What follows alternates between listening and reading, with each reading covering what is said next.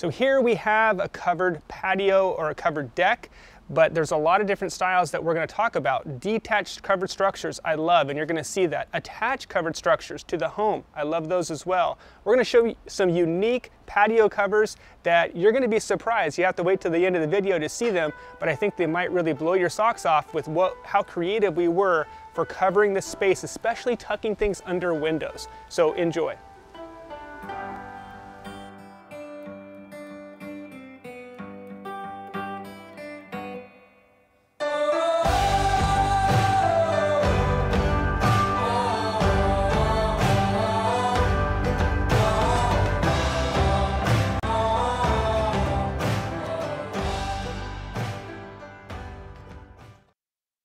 Talk to you about the best patio covers for your outdoor living space, and we're going to talk to you about the top seven styles of the designs right now. Enjoy.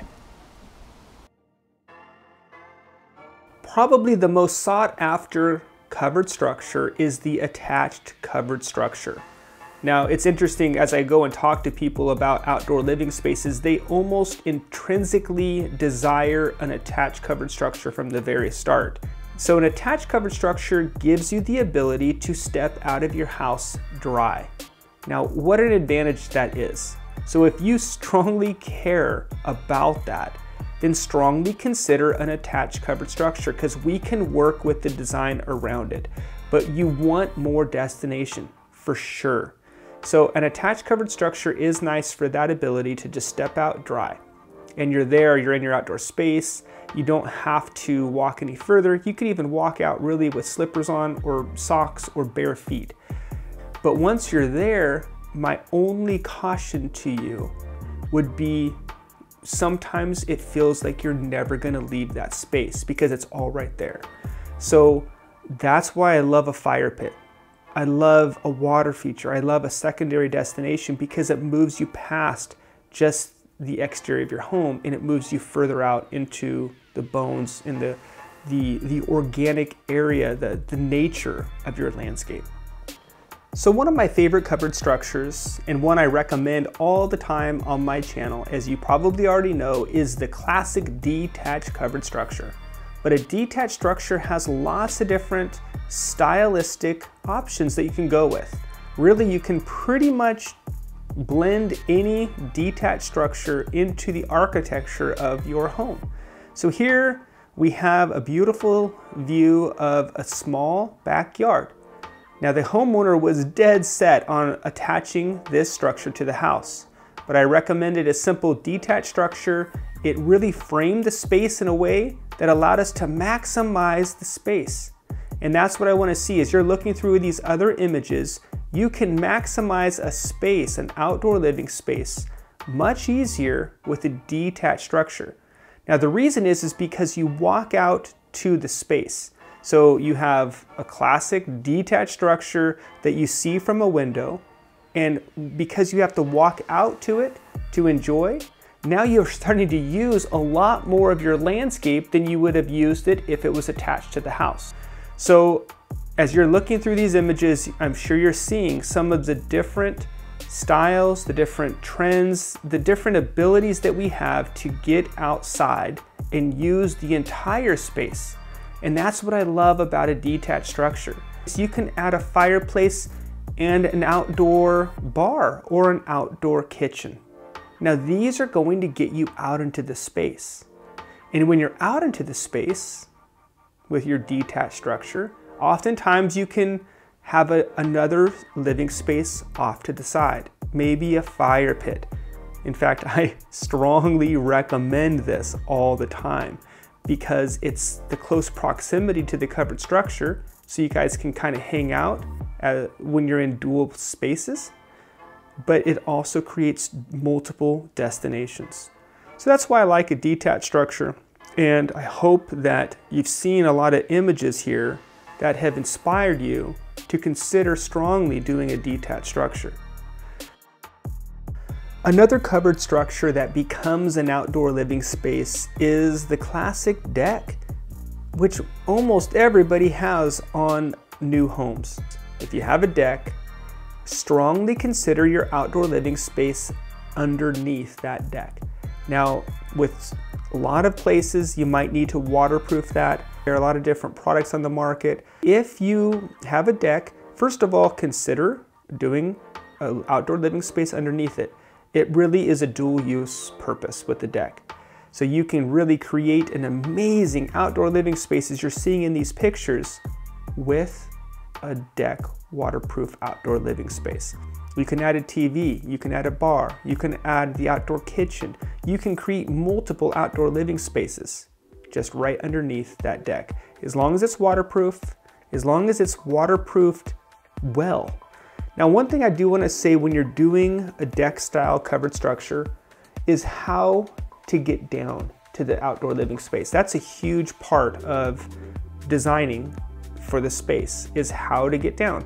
So sometimes you will do a classic staircase down. Now the thing I like about doing a spiral is it doesn't take up a huge footprint like a classic, you know, staircase down. It does give somebody the ability to get down quickly into their outdoor living space. So here we have the classic two room covered structure, a dual living outdoor structure. Now what makes this different is just size. It's just how huge the structure is. Now you can do this both attached to the home or you can do it detached as a destination from the home. Now what makes a two room or a dual room structure is just that. It is a true multiple space room. Now usually you can sneak it in a single structure, but when you have a bar and an outdoor kitchen and a fireplace, you really want some room to spread out and that might be best to do a true dual room structure like we see here. So you have the fireplace with an outdoor TV and almost what you would see as a living room with the couches here and just the ability to have the heaters there. Right behind is a, a water feature where you can just take in the evening.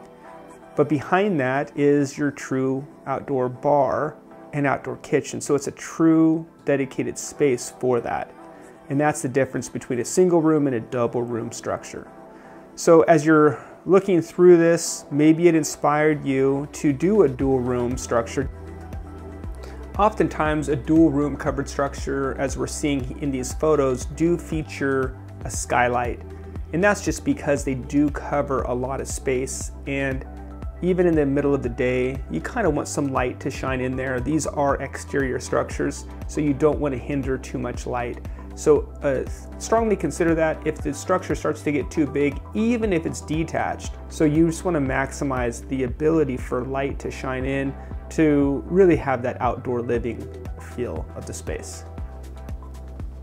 So another structure that you can strongly consider doing for an outdoor living space is a louvered pergola structure. Now really with a louvered pergola structure, you kind of have the best of both worlds. You can do this as, as an attached structure or you can do it as a detached structure. But really what you do is you have the ability to, on a rainy day, close the louver so it's watertight. On a beautiful sunny day where you want to not necessarily be all shaded, you can open it up. You can have filtered sun come in and it kind of allows that air to flow through there differently. So a louvered pergola is a great option for dual outdoor living. Now, another caution I just want to say with a louvered pergola is the expense. They are not inexpensive. They do cost some money, but they do have a lot of features that give you dual living ability. Another thing I want to say with the louvered system is it does not give you the ability to customize it very much. So really these are vinyl, metal, you know, they don't look that nice sometimes and they don't have the ability to kind of customize and make your own, make it match the architecture of the home. So something to think about, it does have the ability to do that dual room option where it's open or it's closed, but it does not give you some of the abilities as some of the other structures that I've mentioned to have a true outdoor living space, an environment that matches the home, matches the architecture, and then gets you truly out into your outdoor living space. So another modern twist to a classic outdoor room is the modern man cave or she shed. Now these are super cool and everybody probably wants one of these in their space. But if you do it wrong, you will regret it. So if you're doing one of these, don't think of it as part of your outdoor living space. Think of it as another destination altogether. Here's another structure that I wanted to mention. Usually this is an attached only covered structure. It's kind of something that we invented just to sneak a gable underneath a window. As you've heard me say before, it's so important to match the architecture of the home. With these style homes, if it's a gable styled structure, like a home structure, you don't necessarily want to do a lean-to or some of the other structures. Like this situation, you have a window that's above the space.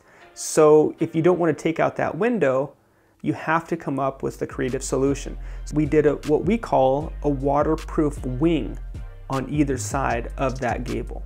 And it gives you such a beautiful, really, structure. Just an amazing amount of outdoor living space. You really couldn't get this amount by tucking it under the window, at least in this job, without doing what we've done here. Another amazing aspect of this gable with a wing effect is it allows you to do a very large structure to match the gable of a home. Now, as you see in this backyard picture, this home is very weirdly shaped, but you have weirdly shaped homes everywhere. So you have to figure out a style that matches and, and kind of blends with the space. So we were able to, with this situation, match the gable. You see that there's a gable in the middle of the home there with lots of hip and ridge. It has the lean-to style structure. It's just got everything you can imagine. So by doing this gable with the wing effect, it allowed us to get the space that we needed because by the way, if the gable would expand that whole area, it would be over the roof line now. And that would just not work with the house. So this size structure is what the client wanted. And the only way we could really do it and make it work is with this gable and waterproof wing effect.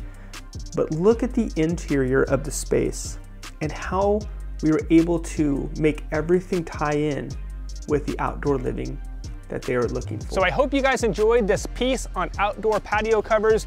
Patio covers are becoming the new normal for outdoor living. If you haven't got one, I'm sure you're thinking about it. So I hope this video helped you to determine what style you would like to go. I would strongly encourage still getting a design for your outdoor living space because you could really mess up with doing a patio cover if you don't have a design first. So thanks again guys for watching. We appreciate it so much. Don't forget to like, don't forget to subscribe, and we will see you shortly in the next video.